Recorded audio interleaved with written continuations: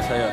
Aku nikah akan dikau dan aku kahwinkan akan dikau dengan anakku Nur Sarah Elina binti Madlan.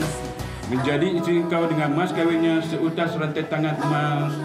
Aku terimalah nikahnya Nur Sarah Elina binti Mazlan menjadi isteri aku dengan mas kahwinnya seutas rantai tangan emas. Amin. Alhamdulillah. Alhamdulillah.